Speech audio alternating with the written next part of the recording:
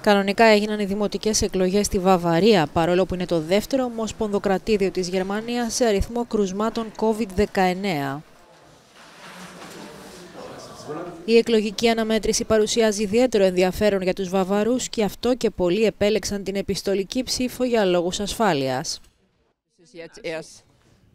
Το πράγμα έχει ως εξής. Έβαλα γάντια, πήγα να ψηφίσω, κράτησα αποστάσεις. Τι άλλο να κάνω; Αν φοβήθηκα, όχι, δεν φοβήθηκα. Έφερα δικό μου στυλό, πήρα το σκύλο μου και ήρθα. Ό,τι είναι να συμβεί, θα συμβεί.